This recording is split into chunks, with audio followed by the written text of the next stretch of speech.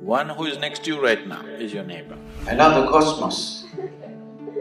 Well, that's really easy. If you have to just one love one being, it costs life.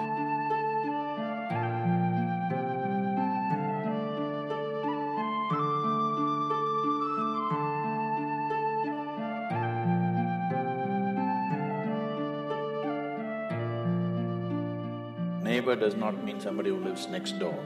Whoever is… whatever is right next to you right now, one who is next to you right now is your neighbor. If Jesus had said, love somebody who is in the other side of the planet,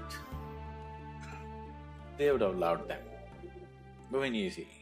Your neighbor, he is not good. Isn't it? This moment, whoever is next to you, if you learn to love him, you will become loving by your own nature, isn't it? Yes? At this moment this person is there, another moment another person is there, next moment an insect is there, next moment somebody is there. If you just learn to love anything that is next to you right now, your nature will become loving. Loving means what?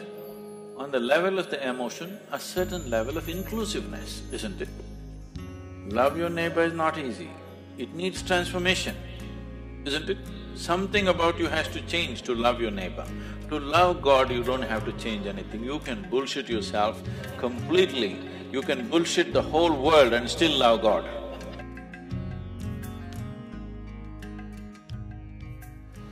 This is just like these days it's become a fad everywhere.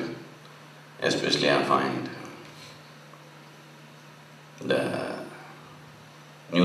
spirituality in the West has taken on this. Oh, I love humanity. I love the cosmos. Oh, that's very easy. You don't have to love anybody. If you have to love one individual, uh, it costs life. If you have to just one love one being, it costs life, isn't it? I love the whole cosmos, but I can't stand the person who's sitting next to me right now. That's a different thing. Now, this is just bullshit. Too much of it.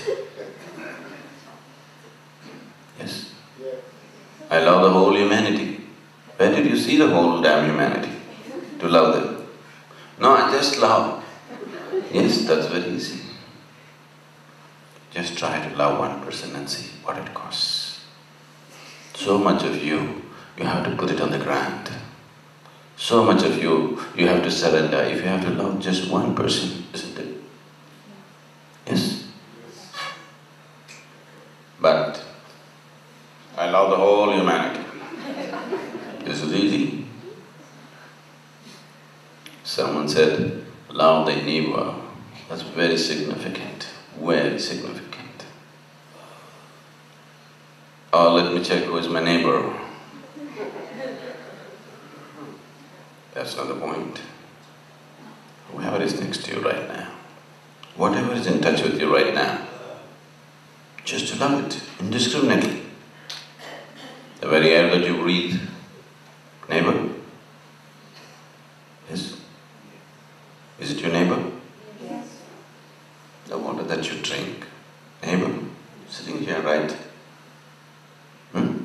Is he your neighbor? Yes. The land that you walk on, is he your neighbor? Just to know that, whatever is in touch with you right now. Now, this is something else, it costs life. Otherwise it won't happen.